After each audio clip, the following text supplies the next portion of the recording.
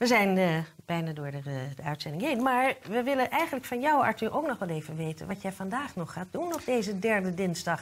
Ja, ik, ik ga linea recta door naar eh, Delft, naar het Prinsenhof. En daar ga ik ze dit brengen.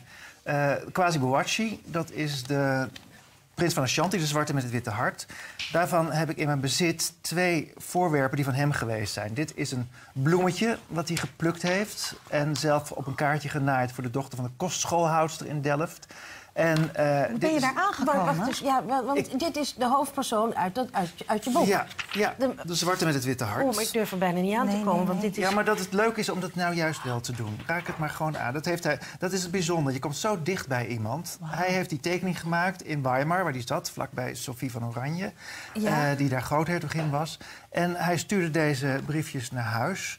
En Nou. op een gegeven moment was er bij een lezing van mij iemand die zei: Ja, dit is van mijn overgrootvader geweest. Wilt u het hebben? Ik zeg, wil ik het hebben? Ja, natuurlijk wil ik dat hebben. Want je komt nooit dichter bij iemand dan wanneer je de, de, eh, nou, zo'n bloemetje wat iemand geplukt heeft aan kan raken. Dit is weer de aanraking, hè? Ja, maar dan, de aanraking, ja. ja, ja, ja, ja. Gewoon Maar- het, het, het- de historische herkenning noemde Helle Haase dat. Ja. Het moment waarop je echt heel dicht bij iemand kunt komen. En, wat ga je dan in Delft doen? Eh, er komt een tentoonstelling. Eh, nou, ten eerste hebben zij iets daar wat van hem geweest is... wat ik zo meteen krijg te zien. Ik weet nog niet wat het is.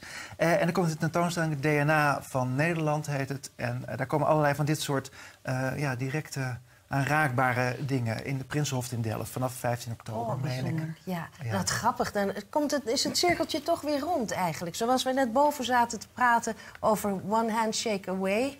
Ja, Dat ja, inderdaad, de dat dat toch altijd iets bijzonders heeft. Heel grappig, op deze dag, dinsdag, de derde dinsdag van... Mijn vader had altijd een uitdrukking... eh, eh, van een gouden koets valt een gouden spijker. Dus als je, eh, als je bij iemand in, die in aanzien staat... Ah. nou, dat is niet zo erg, want van, een gouden koets... Straalt iets van Maar af. dat hebben wij natuurlijk toch allemaal ook. Daarom wil je graag in de, in de aanwezigheid zijn van belangrijke, bekende mensen en zo. Denk je toch, het straalt ook iets van Ja. jou af, hè? Ja, ja, ja, dat hopen we dan maar. Ja.